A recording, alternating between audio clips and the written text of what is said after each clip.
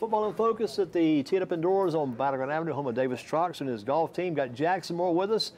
Northern Guilford, he's a defensive lineman. Kind of reminds me of a linebacker more because he moves all over the field. And we could watch him in the games. That game against Southeast, the one we saw you guys this year, you were in almost every play, I believe. Thing I remember about you too was this: the clapping, all the energy all that time. How, where do you get that focus and that energy from? I mean, honestly, as a little little man out there, you know, you just got to bring it to him. How, bring it you to say him. little man. What, what size are you?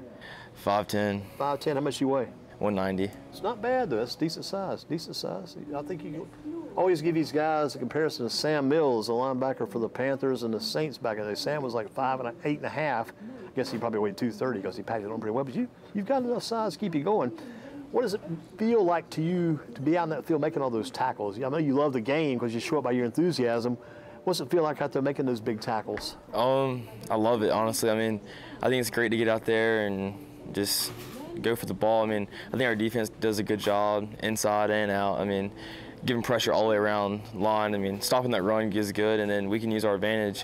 It's pass rushing D line. I think we're really good at that across the board. I know your goal, your one of your top priorities, one of your top goals is be first man of the football. Yes, sir. If you're not the first guy there, I know you want to be there second, third, or whatever. Yes, on every play. And that's Definitely. part of the deal. Yes, sir. I mean, if there's screenplay, try to be there, run across the field, go make it, help out. I mean, I think our defense is crucial to follow the ball, go get the ball. Don't don't stand around, go get the ball. What makes you a good tackler? What do you got to do to be a good tackler, you think? Because you do it quite well, but uh, to get there and get the job done, what do you have to do to be a good tackler? I mean, honestly, it, like I just never really going high. Really, I mean, I've learned my lesson a couple times. Newbern missed a really big play on that, calls them decent touchdown. I mean, that eats me up a lot. Uh, always just go try going low, try to get them for the legs. Get the legs and wrap them up. Yes, sir. Tell you what, so many people nowadays in tackling for football, especially in high school, it wasn't like this in the earlier days, it seemed like, but this day and time, it's like you hit the guy, but you don't wrap him up. They just hit him and try to knock him down, and maybe half the time that don't work. I mean, half the time he may go down, half he's still moving and you're on the ground.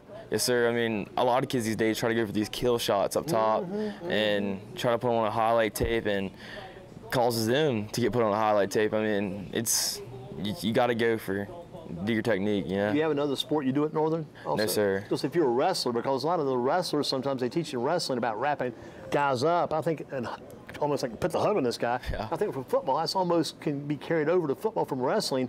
When you tackle the guy, wrap him up and put him to the ground and hang on to him completely. I mean, it's like a Christmas package. Wrap the guy up and lock him down. Yes, sir. Play to the whistle. I mean, honestly, I mean, Oh yeah, and play beyond the whistle. If you call Yeah. for late hit, I, if I'm a coach, I got no problem with a guy being called for a late hit if he got there with the effort. Yes, if it was sir. a, if it was a, s- it was just a bum showing up late, you know, I know what that is. The guy busted head to get to the plane, hits him late. I got no problem with that at all. I'll Gotta take give him 15 pressure. yards any day of the week. yes, sir. I always take that 15 yards, and we'll make up for it later.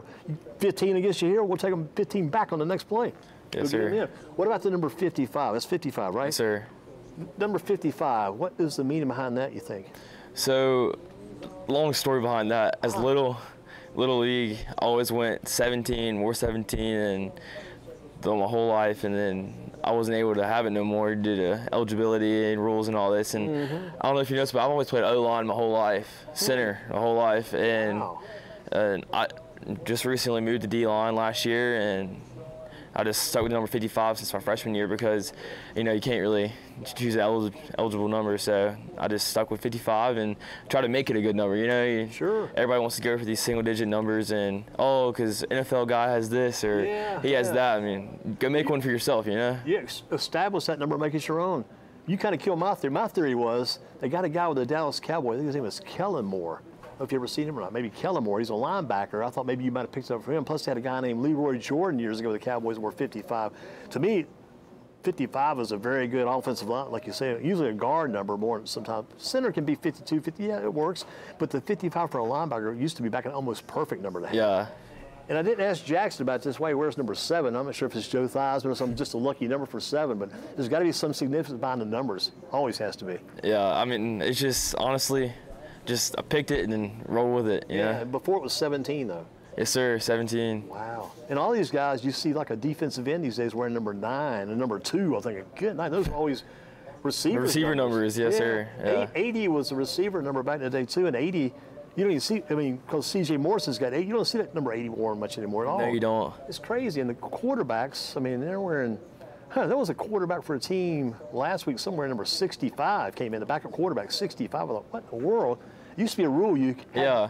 you had to protect those numbers. This guy was a backup QB for a game we were at. I can't remember which game it was, but anyways, we're in 65 and and the play in the middle school. Yes, I got before we leave. Allen Middle yesterday playing against uh, Coronado had a third and 55 play.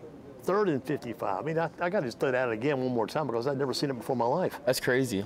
I've, I did not hear about that. They did get a th- uh, three-yard gain, and they went for it on fourth and 52. fourth and 52, they went for it. It's just crazy. So defense versus offense, you've had both. Yes, Good sir. question. What do you like better? Which side? Um, honestly, probably defense. Uh, one of my coaches, Coach Moore, I love that man to death. He's very taught, taught me everything I know, technique wise. I mean, never really got a chance to play defense as middle school, youth league, and I mean, honestly, I think defense is the way to go. And it's Coach Moore who's your Yes, sir. coach, linebacker coach. So Sam Bagley's the center now. I guess you uh, support Sam. All the Yes, the world for him. So Yes, sir. Uh, all support goes out to him. He's gave me a couple challenges as it is, but I'd rather play defense, and I think he can get the job done on the offense side of the this is your junior or senior season? junior. You got plenty of time to keep building this this deal. Then this this uh, establish yourself as a defensive player. Two years to do it left. Coach Westbrook, what do you learn from him so far? Honestly, um, he's a good coach. I don't really talk to him that much. He's on the offense side of the ball. Uh, but when I did play offense, uh, just loves. Let's see, uh, very. He wants it done right. You Yeah, know? detail-oriented, gotta get it yes. right. And I think that's the way you succeed in life. I mean, no lollygagging around. Need to get where you need to be, and that's good though. I mean, honestly. Be organized. Yes, sir. It needs to be organized. What about Trey Turner? Have you learned anything from Trey? He's on the offensive side too, but Trey's just a good guy to be around. A lot of energy, a lot of excitement. Yes, sir. Good guy to look up to as well. I mean, he he's he's a great guy. I I don't really talk to him as much, for offense receiver coach, but great guy. Do you think he's uh, going to be all purple tomorrow night? And uh, or gonna see, there's going to be some red in his heart tomorrow night too, since he's from Northwest Guilford. Maybe a little bit of red, but he's not showing it. I mean, he's not showing it all purple out. So That's let's hope. Let's hope it's all That's good. purple. And you mentioned about earlier about the linemen, a little different defense than the offense. But again, you think about that in the day back. I always go back to the earlier days. Used to be the linemen were in practice. They never associated much with the other guys at all. You didn't know the quarterbacks or running backs or those receivers. You weren't even around those guys. You're down. You went down in a hole down here Yeah. somewhere and just did your work. And you came out of the hole. End of the day, you're maybe you joined up for like a scrimmage session in the practice. That was it. Yes, sir. Uh, we go to the pit. That's what it's normally called. that out there. Yeah, Yeah, yeah. The pit. Uh, that's where all the linemen go, and we'll meet up sometimes. But late, lately, we've been going on the same field as the skill players and all them, and I think that's just it's a it's okay. But we lift, lift with each other all the time. Yeah. So You still lift. I know you lift during the season, right? Yes, sir. What time of the day? uh, second period, that's my class. Uh, lift during that. So And full routine. yes, sir. Fourteen. Three days a week or five? Five. So you got to have it broken down though. You don't do too much on one day versus the Yes, other. sir. Five days a week still lifting during the season. Yes, sir. How much do you bench press? 280. It's not bad. Not bad at all. And that's all free weights too, so no help. Man, but you got to have a spotter, I'm sure. 280s. If you're at 280 now as a junior, you should be probably heading toward maybe 325 by the time you're a senior. Yes, sir. I would think, going that way. If you had to choose one night hawk to have with you making the tackle, you get there first. You got to have some help to get this guy down because you're going against, let's say Mitchell Summers, number 22 for Grimsley, is having a good run. You've got to get Mitchell down. You got the first part. You got him going. Choose one night hawk to help you bring him down. Who comes with you? I mean, honestly, probably Jaden McGinnis or Chance Cruz. Yeah. Uh, we've played together since we were little kids, and I think we both, we all tackle great form, low. We just know how to get the job done. So we got Jaxson Moore. Got what's Cruz's first name? Chance. Chance Cruz. That's a Yes, perfect sir. name too. Chance. And the third guy. Jaden McGinnis. Jordan McGinnis is, Yeah, boy, those McGinnis brothers. Boy, McGinnis was a heck of a runner when he was there. Timmons was a heck of a receiver. He's Yes, sir. A lot of good talent at Northern good, great talent that year. Your favorite college team? Um, I'm gonna have to go with probably either Duke or NC State. I want to go to NC State, but Duke's got an incredible D line. I mean, watching them play is amazing. Did you watch the game last week? I did not get to watch it. Go back and watch that fourth and 16 play when Sam Hartman got that run. I thought Duke was going to win that game, and Hartman out of nowhere got that first down. He wanted to win it. Uh, got a favorite college D lineman you like?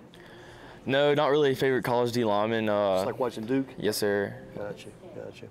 Uh, the first Friday night highlight show you watch on Friday nights is it Fox 8's Frenzy or the Friday Football Fever on News 2? Which one do you watch first? Um, probably the News Fever, honestly. Yeah, when you get home, you Yes, turn on sir. Channel 2. And they'll be at your game tomorrow. I think there's the game of the week, Northwest and Northern. Uh, who stays unbeaten the longest in the pros? Let's get this going here so get ready to close out. The 49ers or the Eagles? Who's, who lasts the longest, you think? Honestly, the 49ers, I'm saying they got a good challenge coming against, against Dallas, uh, but very good side of the defense, and they got Christian McCaffrey, as you were saying a while ago. Crazy wrong- runner. uh, People don't like that guy. People don't like sport. And not Yeah. in football. They don't like sport guys. The, the epitome of what it takes to go out there and just get it done I agree. and just continue to, to get the job done. What about this? You got a two-game winning streak. Northern right on a two-game run. How does that streak continue tomorrow night? I think it's gonna, it's gonna be a tough one. Uh, got to come out physical. Got to get after the ball.